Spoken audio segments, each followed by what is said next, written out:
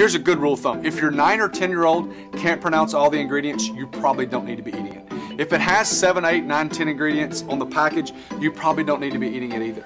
If it doesn't go bad, you probably don't need to be eating that thing. You know, I would say one of the most common questions um, that I get from viewers, and not just here in Alabama, but through my whole career of 20 plus years in TV, is how do you stay slender with three kids, or how do you stay slender? Right.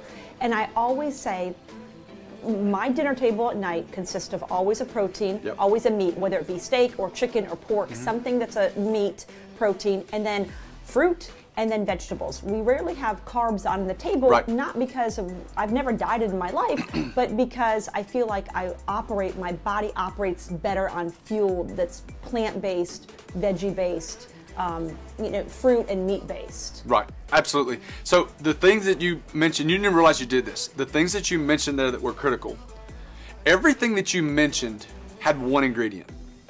What? One ingredient. It's a meat.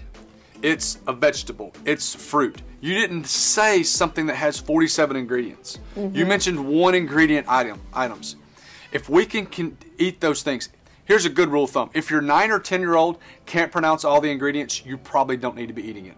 If it has 7, 8, 9, 10 ingredients on the package, you probably don't need to be eating it either. If it doesn't go bad, you probably don't need to be eating that thing.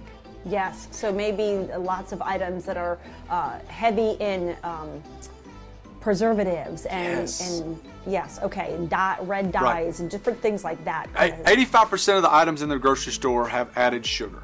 Yes. If we can avoid, if we can avoid two things, I've, I've figured out. I, I haven't got it figured out, but I've, I've seen if we can avoid two things, we will have greater success. One thing, if we can avoid flour, we will have a little bit more success, and if we can avoid processed sugar, we can have some success. Those two things right there, if we can just eliminate.